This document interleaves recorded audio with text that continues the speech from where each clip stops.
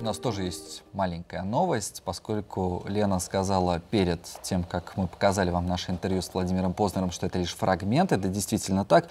Полное интервью можно увидеть уже сейчас на сайте ЭТВ+, etvplus.err.ee, а также специальный показ в понедельник, сразу же после новостей «Актуальной камеры» будет показана полная версия нашего интервью. Ну а завтра в 14 часов в Центре русской культуры состоится концерт, который посвящен 20-летию творческой студии «Джой». Сегодня в нашу утреннюю студию мы пригласили руководителя студии «Джой» Марину Еремину. Доброе утро. И э, победителя многих международных танцевальных конкурсов Александра Макарова. Доброе утро. Здравствуйте. Здравствуйте. Марина, расскажите о деятельности студии, где она находится, на кого рассчитана, каким творчеством занимаются ее воспитанники. Вы знаете, наверное, за 20 лет я могу сказать, что наша студия – это действительно огромная планета, у которой есть свои орбиты, свои спутники, поэтому а, начинали бы базироваться 20 лет назад в городе Валга, на юге Эстонии, в прекрасном маленьком зеленом городе. А сейчас, вот с этого года, после 20 лет, как-то орбиты у нас расширяются, спутников становится больше. И очень долгие годы мне говорили, почему студии Джой нет в городе э, Таллине. Вот с этого года мы так решили, и теперь мы уже в Таллине. Волга переехала в Таллин. Не переехала. Я бы сказала даже так, пока мы делаем здесь филиал. Поэтому база у нас остается в городе Валга, а вот филиал будем развивать в городе Таллине. Это значит, что вы живете теперь на два города? Ну, я уже э, давно как бы живу на два города, потому что здесь э, мы выступаем очень часто и с концертами. Я занимаюсь общественной деятельностью, потому что много всяких совещаний, э, конференций или выступлений, или сами организовываем здесь свои э, мероприятия. Я являюсь режиссером нескольких больших таких проектов. Поэтому я... Э, сюда приезжаю довольно часто, в Таллин. И тем более теперь уже у меня живут, э, есть семья, э, э, сын, у которого, которого своя семья. То есть мы расширяем не просто как э, студия, но и семейные все традиции мы расширяем уже у нас даже. Ну, вот можно сказать, что у вас активная культурная жизнь. Можно ли сказать, что это также является одной из студий Джой, да, является одним из главных двигателей русской культуры в Южной Эстонии, как раз в Волга?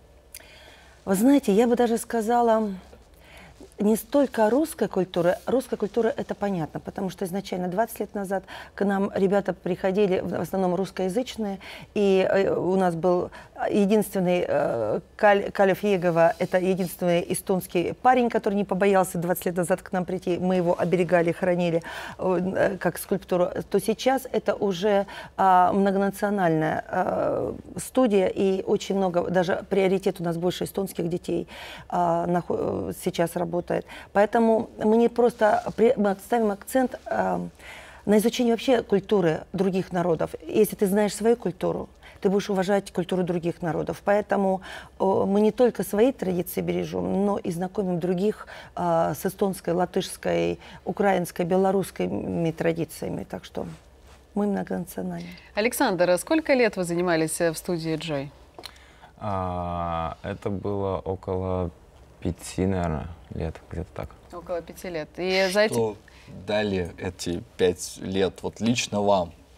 А, я попробовал постоять на сцене. Это, конечно же, страшно, тебя сжимает снутри, ты волнуешься. А, плюс я познакомился с другими ребятами, с других городов. А, у меня появилось больше интересов в сфере творчества. А, вот это, наверное, основные такие вещи, которые... Какие я танцевальные жанры вы успели уже попробовать? И что выбрали для себя? А, я успел попробовать брейк-данс, хип-хоп, и локинг, поппинг. А... Интересные какие термины. Это, Расскажите все, нам все об этом подробнее. в студии Джой? А, нет, в студии Джой я пробовал более такие а, шоу-танцы, как бы... Там смесь стилей была. А, а сейчас больше пробую хип-хоп и попинг. Это мои два основных стиля. Как бы рассказать тяжело на словах, так вот как бы легче. Ну, мы показать. надеемся, что, вы, что мы скоро увидим вместе с нашими телезрителями вас э, на сцене. Но я хотела Марину спросить. Э, те филиалы, которые вы открываете, ваши воспитанники теперь ведут там тренировки и занятия? Да, да. вот это тоже наша... Эм, а, уникальность, я считаю, нашей студии, что мы сами воспитываем своих э, педагогов. педагогов, да, потому что у нас действительно свой почерк, и кто приезжает, и знаете, мне очень нравится, когда приезжают, э, э, когда мы организовываем любые концерты, весенние, э, зимние или какие-то мероприятия, то часто наши уже э, э, ребята или же знакомые привозят, э, дарят билеты и приезжают из Сталина, из Риги, из Вильнюса, например, да, э, к ним друзья, или же вот приезжали тоже из Риги работники, э, которые работают в театре. И после концерта они приезжают сюда, э, ну, провинция, маленький город, да.